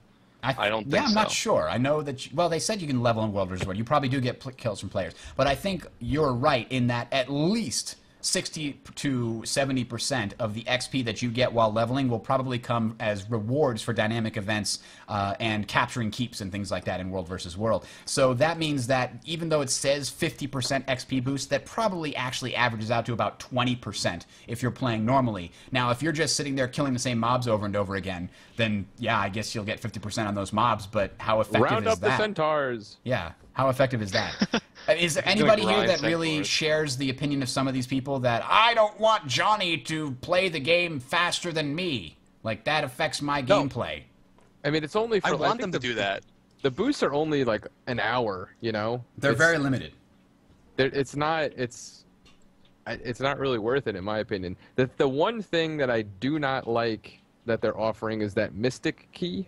Oh, the so- stupid. I I really Fortress really crate. don't like that. I hate like to me that's the that's the the worst example of a carrot on a stick in front of your face. Like, ooh, you just got this little treasure chest, and look, it's gonna have this, this, and this in it, and they're all random. But in order to open it, you got to buy this key. You know, like Only I hate, I hate it when Valve did that. I hate that Guild Wars is picking it up. I just think it's stupid. yeah. Incoming Vega rant. But, uh, I won't rant. And that's actually, I had the same reaction to you. Is I'm like, no, the stupid TF2 crate system. Are you kidding me? And for those like you just explained it, but basically you drop these crates that are that have something in them that you don't know, and the only way to get in them is to buy a special key from the gem store. Meaning you either have to save up a whole ton of gold and transfer it over into gems, which could translate into an hour, two or two hours worth of you know time spent farming for all intents and purposes, or you know pay a dollar seventy-five or two bucks or whatever it winds up being. I don't have any hard numbers, um, and and get this key, and then when you open it. Oh, that gun that I already had. Fantastic. Damn you, Valve! I think was it VG Cats that did the great comic. Did you guys see that? I'll pull it up. Yeah, here. you linked it. Oh, I linked it in my show notes. No, not in the show notes, but I linked it to somebody else. I'll find the it. weekend. Uh, But yeah, that's really the only thing I, I've seen in the influence. I mean, in the gem store that really just doesn't sit well with me. I mean, everything else, it's it's kind of, I guess, kind of looking at in terms of like League of Legends, how you could pay for those boosts and stuff like that. You know, it's if you want to do it, great, but it's not something that, oh, I'm really missing out on the carrot in front of your face kind of thing. I mean, this whole comic explains it perfectly. He's like, wait, you have to buy a key to open this? Huh, nuts to that. I'm not spending a penny on a damn fictitious item. I'm no sucker. And then the other guy says, that's cool. I mean, if you're fine with never knowing what it was, the inquisitions of regret forever gnawing at your mind. What was in the box? And why didn't I open it? I mean, if you're cool with that kind of torture. So she, she messes up the money and it unlocks, hey, yep, it's an item you already had. and it, it works on everyone. It does. But the best you know- part you know is the punchline of this whole thing. What kind of person comes up with a scam like this? Meanwhile, I found this Gabe Newell rolling around in a pile of money that goes as far as the eye can see. And, That's and the you best what sucks? That, punchline like, ever. In Valve, the key was like, was like Wow, 99 Val. cents. Oh my god. It was like 99 cents. I don't know how many of those stupid keys I bought because I was just like, oh, you know, whatever. I'll just I'll just buy a key, and then like a week later, oh, I forgot I got that key. I'll just buy another key, and then like it adds up over time, and it just sucks. Yeah. You end up spending more on that than you would on a sub game. I know. I know. Vega. That's what I hate. So it. Vega, Amazing. recovering boxaholic here. They Uh, trick me. I fall for their tricks. Yeah. So Yeah. I had a problem with that Mystic Key because it just feels slimy. Right? It's like, well, we Yeah. could just drop you the loot like we do every other piece of loot, but instead we're gonna make you pay for this one. Like, that's so weird and gamey. Um, I mean, there's nothing inherently wrong with it because if I don't purchase those keys and and Vega does, it doesn't really hurt me, but it just feels slimy, you know. And I kind of expected more from ArenaNet, but again, maybe they won't be in the final thing. We can't judge it quite yet. We'll have to find out. Well, the, the thing, okay, well, the thing is, yes, that's purchased with gems, but that kind of goes back on their gold to gem system, and it's like, oh, we can put anything in the shop we want. Like, yeah, in theory, but you don't want to test your player base, and I might buy a few keys with my gold if I get a large stash or something, but it's not needed. It, it's definitely not needed. They would make, I I feel, they'd easily get the numbers they need of profit just by selling the gems because they already got the sale anyway with the gems, and then the key is just there. Didn't didn't they have keys in Guild Wars One that were similar? How did those work? Yeah, I think but you that those were buy 'em, in-game gold, or the keys drop. There you go. Oh. Grey Wolves. What is it? Perfect World. They have a system of random chests you purchase to open, and they have leaderboards for who opens the most chests. So people pay money to get to the top of the leaderboards. oh man, that is some kind of scam. Wow. That Wow. That is the definition of slimy. That's that pay to win. That is crazy, and people do pay for that. All right, some other things in here. We talked about the boosts. Um, the, t- I think the the cool the coolest thing in here is going to be the costumes and the town clothes. I just I just can't wait to get like a ninja versus a pirate outfit and just figure out And a which one's monocle. better. And a monocle. Gotta have a monocle. Someone Um, go to like the theater in Divinity's Reach and act out this giant pirate versus ninja fight. that would be fantastic. Oh, my immersion. I mean, the the one thing I, I do like about the gem system is the fact that you can use gold to buy gems because it's not like other games where it's completely separate. That you could only get certain things if you want to pay money for them. You know, like if yeah, it might take a million gold to get that key or whatever it is, but you can still do it if you want to do it. It's not like other systems where oh, that's a really cool skin. I bet you want that skin but you got to pay me for it, you know? If you want to Yeah. put in the time and you want to save up and grind for gold, you can get anything you can, anything you want, you know? And I think That's I think what I that's, that's what I do like That's a about good thing. That is That's a really good thing.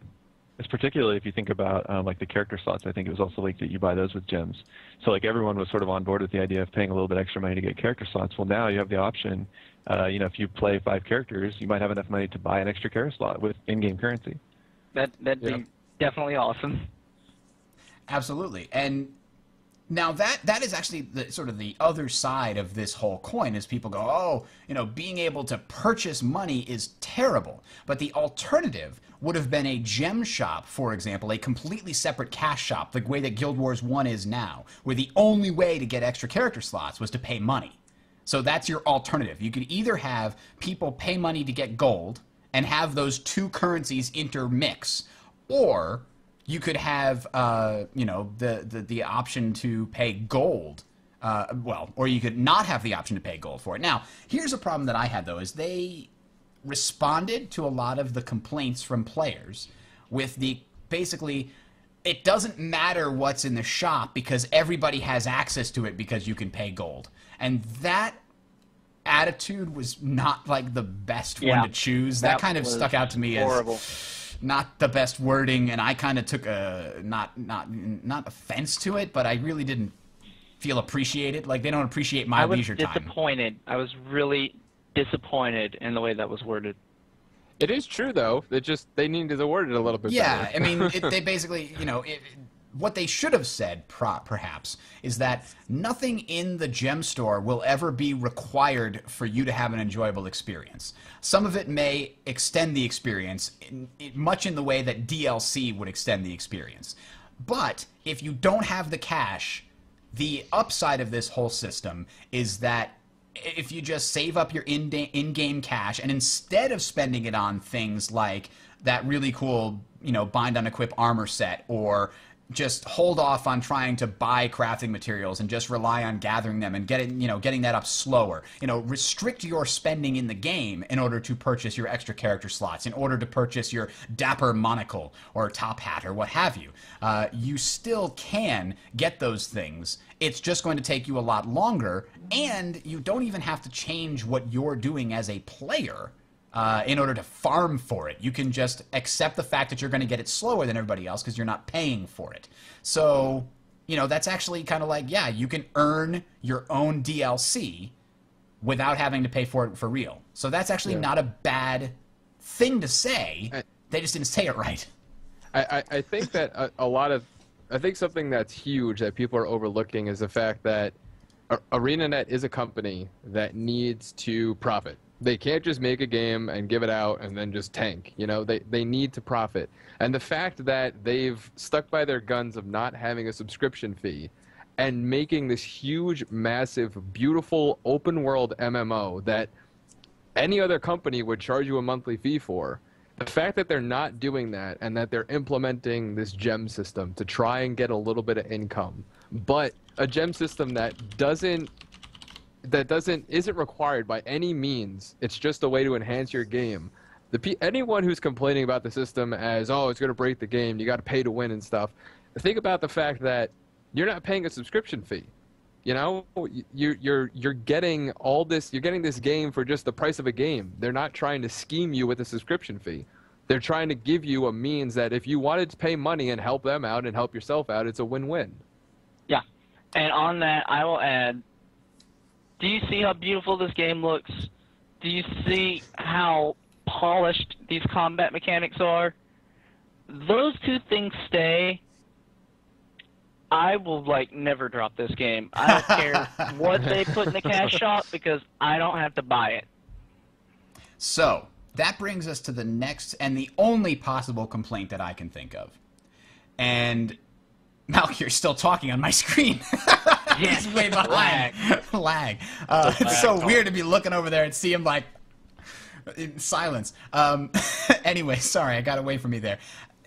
The, there is one potential downside with this whole system, is because it makes you ask yourself, well, okay, there's an XP boost in there or there is something in there that you don't need, but would be nice to have. Well, what it does is it provides an incentive to ArenaNet to basically create inconveniences for the player and then sell them the remedy to those inconveniences in the cash shop, right? I'm not saying ArenaNet will do that. In fact, I don't think that they will. But one of the really things that I was really excited about Guild Wars 2, and one of the arguments I would use against it, uh, uh, uh, with people telling them they should get it, is that A, there's no subscription fee, which is good for your wallet, and B, because there's no subscription fee, they don't have to extend the time artificially on a 10 minutes on a wyvern ride from one end of the continent to the other. No, you just instant fast travel there, right? There's no reason for you to have to worry about that. However, now that they have a cash shop, that has taken the place of the subscription fee, where they artificially inconvenienced you in in uh, World of Warcraft in order to stretch out the amount of time that you played the game, to whereas half the time you were spending actually playing the game was not playing it; it was sitting there waiting for a you know going to get a sandwich while your crafting menu finished. Now we have seen that ArenaNet has a given you fast travel, made crafting basically instantaneous, no matter how many things you're crafting, to make it so that you don't have to sit there the same way you did in World of Warcraft. There's so many little things that ArenaNet has done that prove to us that we can trust them to say, listen, we are not going to sell you a game that causes you to have inconveniences unless you pay us money. However, now there's an incentive for them to do that, right? There's an there's that incentive. Oh, what if we sold them? What if we had this magic box drop and they need to buy a key to get into it? Normally we just drop them the item, but instead we'll wrap it up in this box and make it inconvenient so that they have to get this thing or spend a bunch of time grinding. So, you know, those are the kinds of things that feel like they weren't put in there to make the game better. They were just put in there to inconvenience the player so that now you can buy the inconvenience unlock item from the store. And so But- that's the fear. But Vega. that sounds so evil. And Arena, that's not evil. Yeah, I mean, I, I, I, do we know anything about what's actually in the Mystic Chest? Because I know, like in TF2, the stuff you're getting from the boxes is like very powerful and game changing, right? But I mean, I guess I'm holding on to the hope still that the stuff inside the Mystic Chest is purely cosmetic. Is a cosmetic. pet. You get, you get might like- be you right. get You, know what? three- If you're you right, get three things. You think you from think you, you have you uh, read something about what's coming in the Mystic Chest? Yeah, I, I'm pretty sure it's just it's three things. Um, I'm not. I, I can't remember what it was, but it wasn't just like you open it up and you get one thing. It's it's definitely not game changing like TF2. You get a new weapon or something that you know because weapons in TF2 were you know substantial. The, the game. Um, yeah, but I mean, I'm, I mean, Miane. he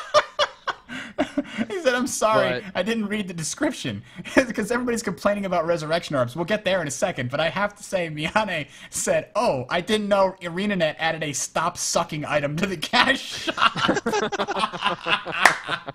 Bravo, sir. Sorry, continue. We'll get to resurrection orbs in a second. oh no, I was, I was just saying. I thought I read somewhere that it comes with a couple couple different Well, items that's true, that actually. aren't really If- that important. If it's all the- aesthetic stuff run. that comes in the in the Mystic chest, then it's even it's even less of an issue. All right, so let's talk about what what Miane and these guys are talking about. The the perfect salvage kit, the full armor repair, and the the resurrection orb. Now those do what you would think that they would do essentially, and that's that uh, the perfect salvage kit gives you a higher chance to get the um, you know better items from uh, the gear that you're salvaging essentially. Now there's certainly possible possibilities that you can get that perfect salvage kit elsewhere in the game. I mean, maybe you can get it in exchange for karma for all we you know. probably get like an expert salvage kit, which yeah. might offer a slightly less percentage chance. Do you Well, want, what it, you annoyed- want for an extra 10% chance to get a piece of wood? Would you like to buy it for $2? no, no. no. For an extra 10% chance oh, to get a shiny piece of wood. Oh, I'm to sorry, make a shiny. shiny bow. Shiny bows do two more damage than regular bows, plus two, plus two bow of shiny. they blind your and they blind, blind your target 'cause opponents they with their shiny wood.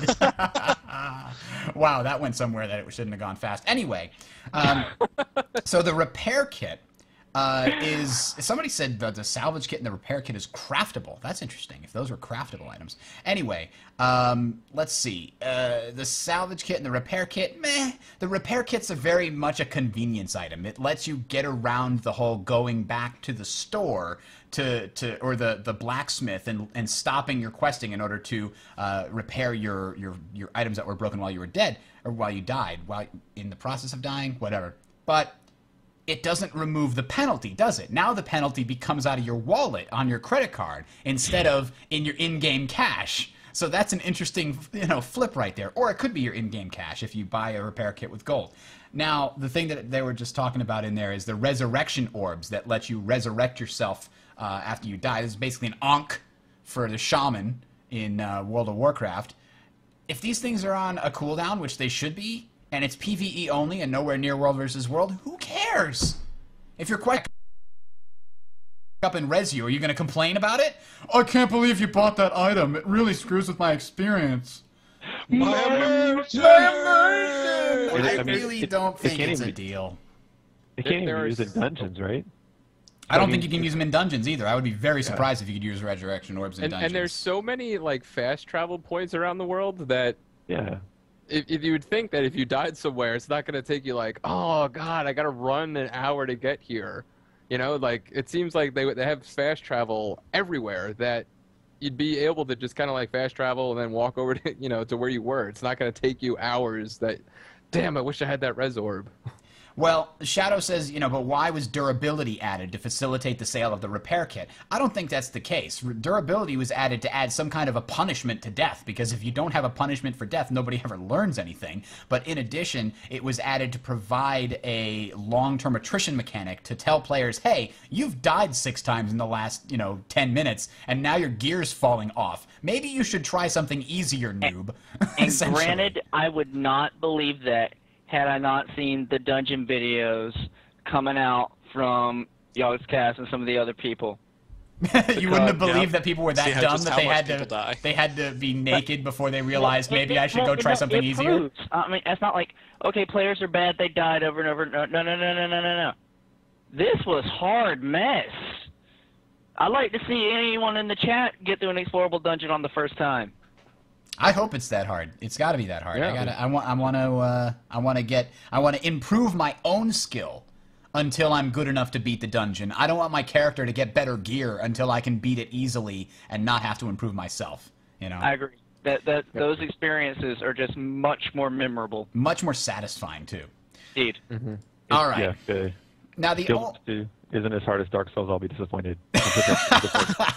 It will be if you play Dark PvP. Souls. Play PvP. Now, here's the only other thing that I thought was kind of slimy, but not game breaking and not a deal breaker per se. And that's that it looks like there will be packs of mini pets a la uh, Magic the Gathering, you know, packs that you open and they'll have random pets in them. Oh. and Richard, it's just like, you gotta- gotta, you catch, gotta them, catch 'em all. all, man. No. You I gotta mean, buy them. they do You the same thing gotta with the buy them. Pokemon. Um, that's a great South Park episode. Uh, I just hate that collectible, like, you don't know what you're getting, but pay money anyway. Oh, that just drives me up the wall. Even if I never buy it, the fact that it's in there and other people are buying it will make me rage day after Some day. people are gonna love it. They're gonna be like, oh, I, got, I just got my I'm- paycheck. I might die a month earlier just because that exists in this game. let, me, pull some Guild Wars for you, um, Bridger. Uh, Guild Wars One, you got these mini pets by your birthday, which um, be, your character being one year old, you got a mini pet. So if they something along the same system, these things will start appearing in the game anyway. Also, if these things are tradable, that could be a good system with the whole gotta catch 'em all thing. People who want to collect everything. There's yeah, the Okay, if it's not in there yet, I'm sure it'll be in there eventually. Rock Solid 84 mentions they will add a pet collector title. It may already be there. Now, if it's a, if it's such a thing as you know, okay, I'm gonna let all the suckers go and buy these packs, and when they get duplicates of the same thing over and over again and sell them on the auction house, I'll pay a little bit more gold to buy exactly what I want. Yeah, I guess that's not bad, but I still hate that you can't just ah, it's collectible It's like it's like the garbage. achievement whores that were that wanted to get every single mount in World of Warcraft. I mean, the Magic the Gathering sort of collectible card game system was as brilliant as it is stupid for people to buy it, you know, but it's just it it's so people it's psychology, I don't know. It just bugs the hell out of me. Cuz you can do the same thing with not only mini pat mini mini mini packs, mini pets, but also dies. So if you would like to get some new dies, you could, you know, go into this store and get three random dies. One of them is uncommon and two are common. And at least though, they do seem to have common and uncommon, so you can't get rares this way. I don't know Yeah, how but you would get It's, rares. it's, it's readily accessible to get dies in game, though. yeah, and you do That was- start that with was- tons of dies.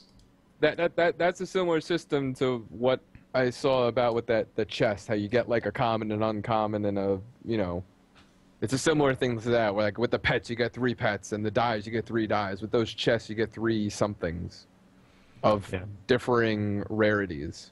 I mean, I guess one thing that kind of bugged me about the die system was that, you know, I was kind of excited about, you know, they had those die blogs. And They're talking about all this different variety and stuff, and it's kind of like now it's kind of like they'll sell you these options. You know what I mean? And you don't even get to choose what you're buying, right?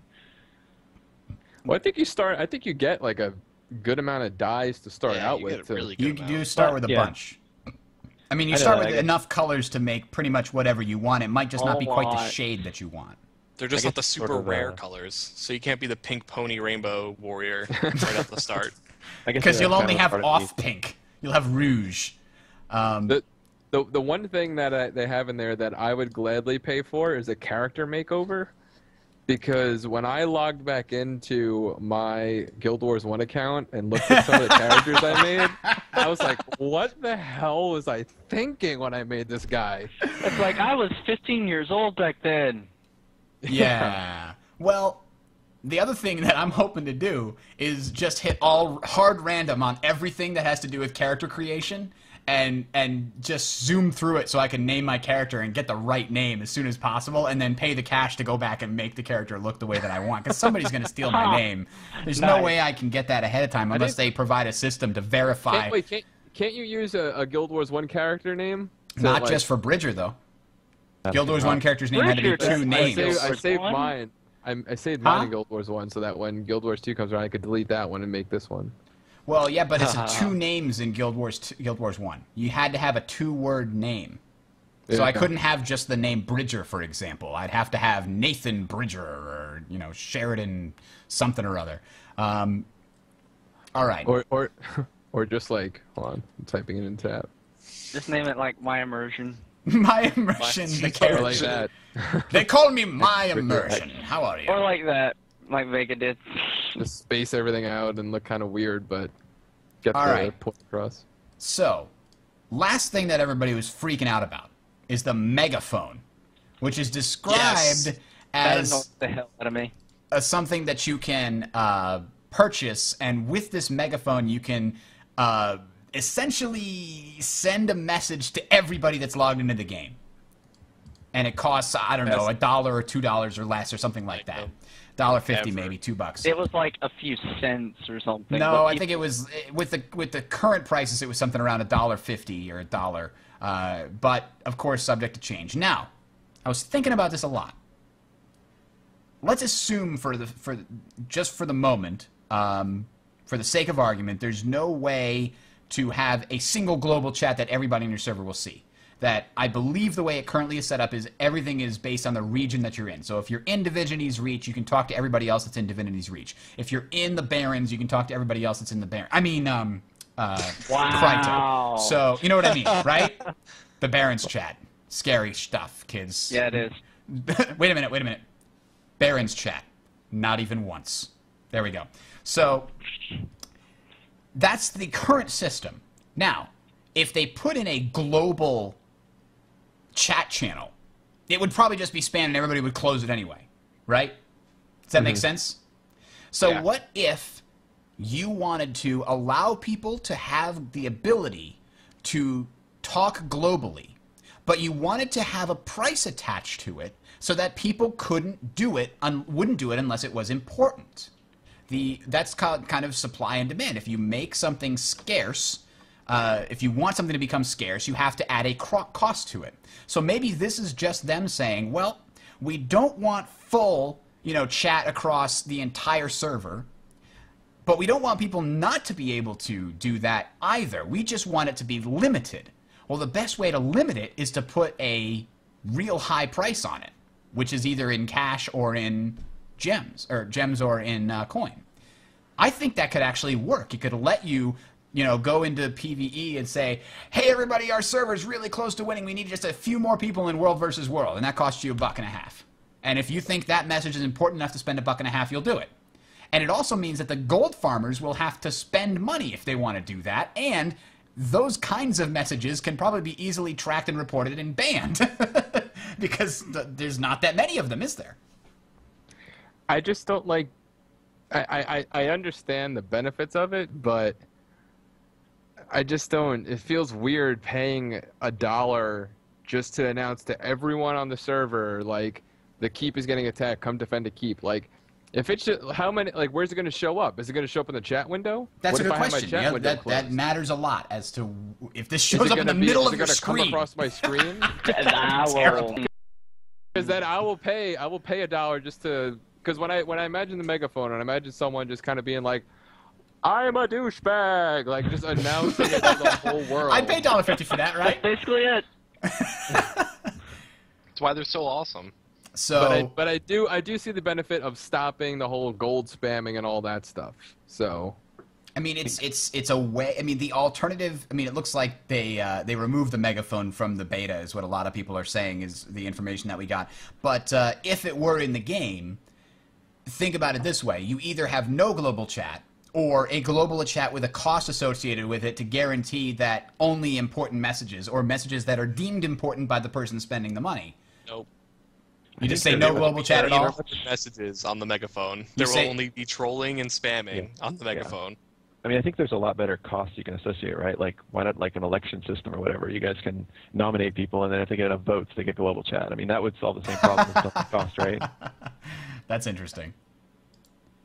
I don't know. I just feel like if you if you have like the pay barrier is not a very high barrier because you can't put the barrier high enough that people won't use it for the actual purpose, and you can't put it low enough that you know it actually stops people from using it for the wrong That's purpose. true. We're still going to see tons of people like, my guild is awesome. I've got three of my friends in it, and we're going to be the best there is.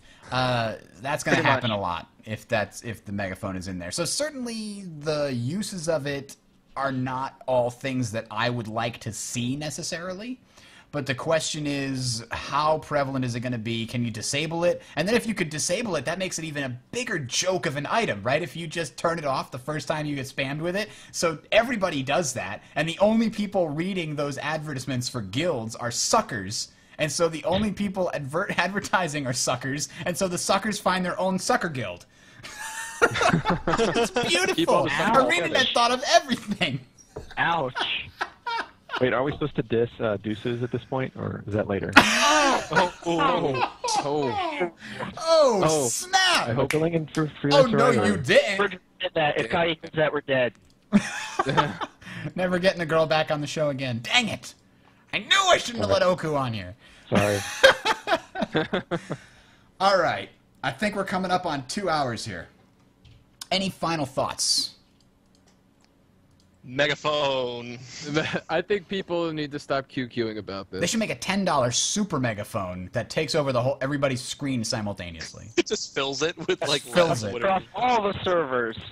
Just like a six, wow. it's like a, you can put a video advertisement there for cars. You'll have Ford ads coming up on the corner of the screen. they paid ten Oh, bucks. God. They can do what they want. All right. Uh, what do you think about this now? This is the only other thing that I thought of that might be an issue, and uh, so this will be our last topic. There was a post on the Guild Wars 2 Guru forums. I mean, people first were talking about how, oh man, if you get, uh, you know, if you get this gems to gold thing, it's going to cause inflation. And a lot of people pointed out, no, why would it cause inflation?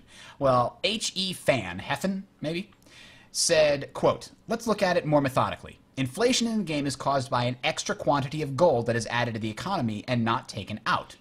Net inflow of gold equals time spent farming for gold times the gold drop rate minus gold sinks. I think he's got the math checks out, right? The amount of inflow of gold is basically how much is flowing into the economy versus, and, and then subtracting the stuff that's getting pulled out. Now, we know by allowing players to purchase cash shop items such as character slots and extra inventory, time spent farming gold is going to increase because the value of gold just got more valuable, right? When you can trade golds for gems and gems to buy character slots, that gold is now much more valuable than it would have been if you couldn't have bought character slots with it. Does that make sense? Yeah. Are we following will here? That, will that punish new players? There's another good question. But what he says is the time spent farming will increase because gold itself is inherently more valuable. Now, the only way this is a problem, though, is if ArenaNet's gold sinks have not have taken this into account. Does that make sense? Yeah, yeah, yeah.